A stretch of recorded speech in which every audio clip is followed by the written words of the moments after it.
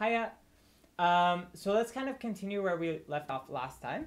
Uh, sorry that I split this video in two. Um, I know it's a kind of awkward place. Um, but basically what we said is we have this idea of symmetry, which is basically saying that I can take my distribution, I take I look at my distribution, and if I flip it over um, over some point, v here, uh, then I get the same distribution. Nothing kind of changes. I can flip it and everything is okay. And then I said, okay, well, let's suppose that our variables are symmetric about zero. So I can kind of flip it over the zero and everything is okay. Um, well, what happens to the sum? Well, we can kind of see that the sum is also going to be symmetric about um, zero as well. Um, and here we saw this because um, each of the xi is symmetric. So you have to think about this a little.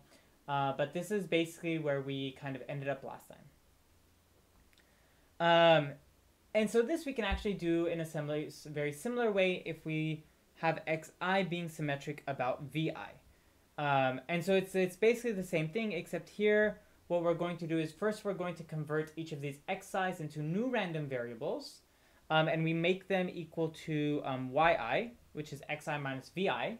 Basically, this is helping us delete that vi. We're making this equal to 0. And then what that makes, what happens is then the yi is symmetric about 0, right?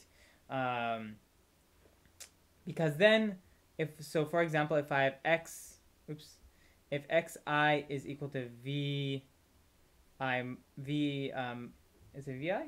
Yeah, vi minus x, um, which is equal to vi plus x, um, then if I have yi is equal to um, xi minus vi, um, this is equal to vi minus x minus vi, but this is also equal to vi plus x minus vi.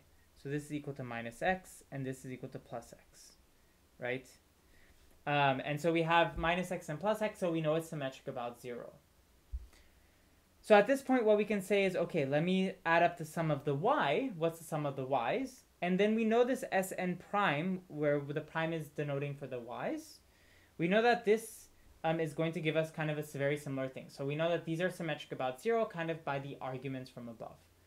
Um, so in essence, what we have is minus Sn prime and Sn prime uh, have the same distribution. Um, they're symmetric about 0, right? So this is really coming from here. Uh, so what does Sn look like, right? So Sn prime,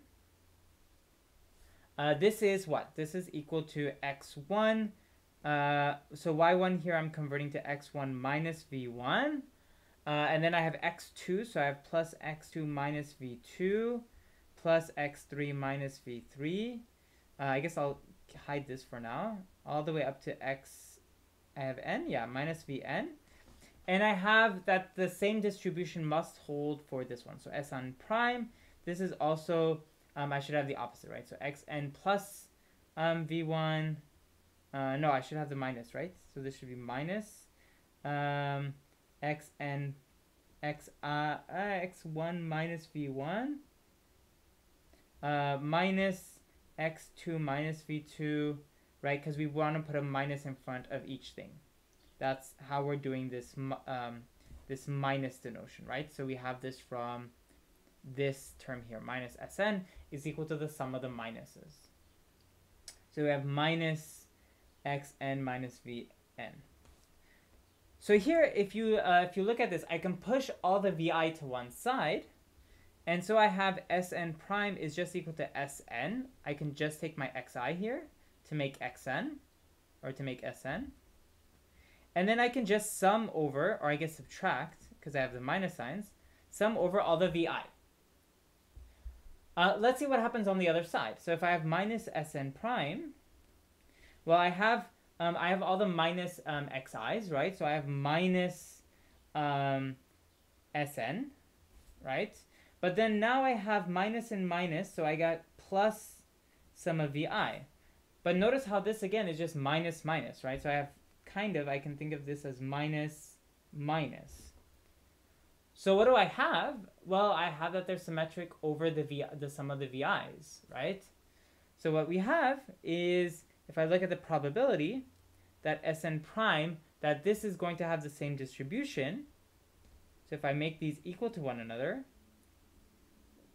and I plug in these numbers, so I say, okay, this means if I say Sn prime, this we said was equal to Sn minus sum of Vi is equal to x.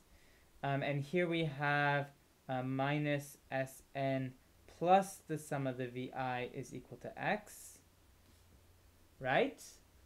Uh, so this we just grabbed from before. Um, and then now let's kind of push the Vi to the other side.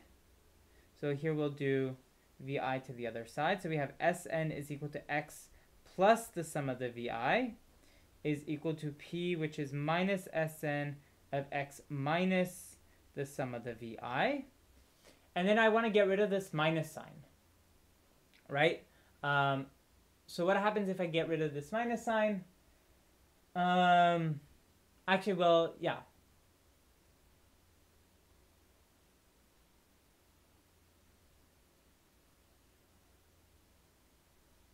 Yeah, so if I get rid of this minus sign,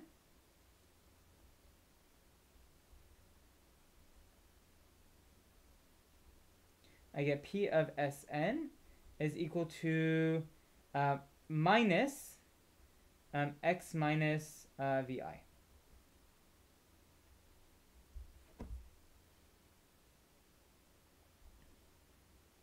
Um, well, I guess it's kind of better to do uh, minus minus. So here, I'll just keep the minus here and plus. And so here you can kind of see we have the plus vi being our vi, right? So remember we have um, this uh, v plus x equal to p s n v minus x. This is where we have symmetry. So since we have the minus x and the plus x, we have minus x and plus x, this implies that Sn is symmetric about the sum of the Vi. So it's definitely a little weird concept, um, but in the next video I'll look at an example and I think this will be a little more sensical in that way. Um, this video I probably shouldn't have cut into, uh, but it was going to be super long otherwise, so hopefully that's okay for everyone. Um, so I will see you in the next video for an example. So see you then.